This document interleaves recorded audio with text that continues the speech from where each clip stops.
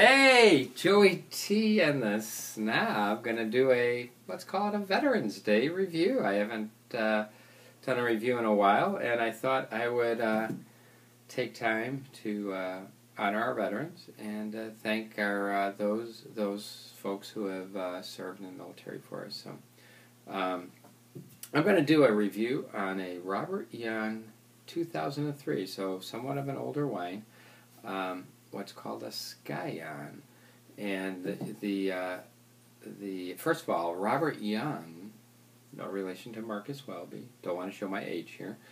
Um, Robert Young was growing. Uh, was a farmer back in the uh, like in the mid 1800s. I think it's going back into like 1858 and they were growing all kinds of crops, uh, cattle, um, as well as prunes. You know, it's funny. I just bought some prunes today. Again, hopefully not showing my age.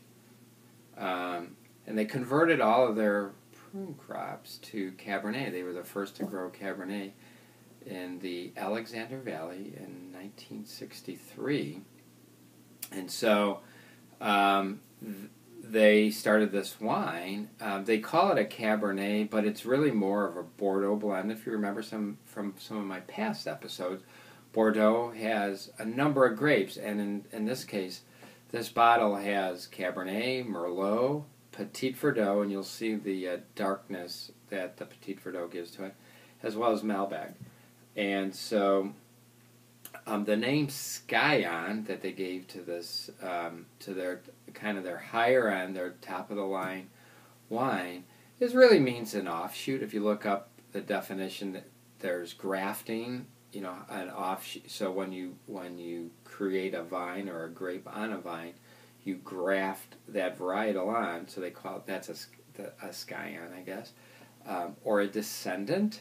And I thought it's a creative way that they um, related back to you know Peter uh, Peter Young, I guess, was uh, back in in the uh, many many years ago, the old days.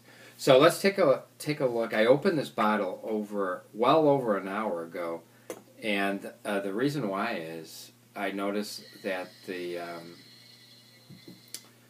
that the uh, alcohol is very high in content, very high alcohol content, 14.75, well above where I, I would prefer having a wine.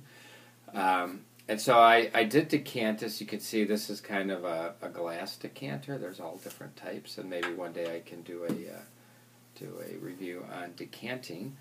Um, I chose the O, um, Riedel O, which is a stemless. Um, choose your, you know, your whatever glass of choice. Um, you'll see it is darker, and that's a Petit Verdot coming out.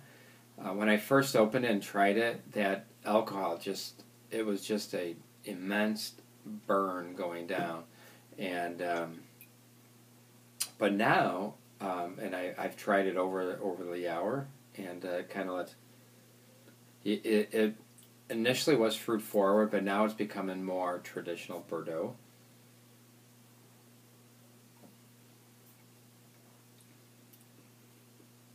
I think the the tannins, the dryness has mellowed. Um, you don't feel that burn. You don't feel the fourteen point seven five. You'll probably feel it. you won't taste it right now, but you'll feel it at some point in time. Um, um, very traditional uh, Bordeaux. You're getting, um, you know, more of the earthiness.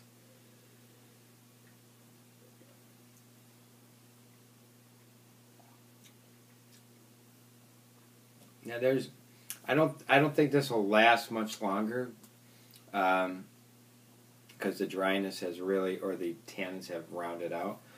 Um, I, I think too the other when I opened up the cork, you'll I don't know if you can see the crystals. I always like to see crystals on a cork because I know I'm in, for a good um, experience with wine.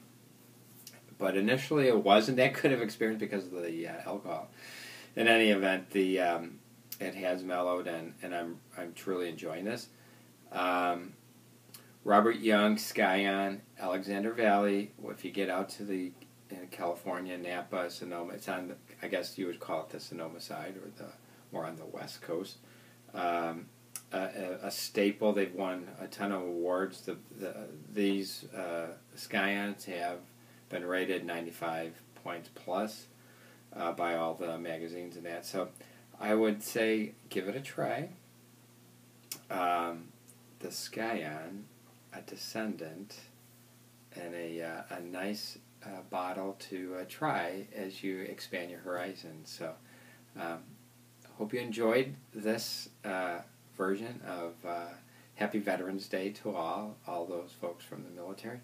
And uh, if you uh, see anything that you or hear anything you want me to um, kind of answer questions on or give a, a, talk on, joey underscore underscore t at hotmail.com. And I'll um, hopefully uh, come at you with uh, another another review or another uh, some information on Fun with Wine. Joey T and the Snob signing off.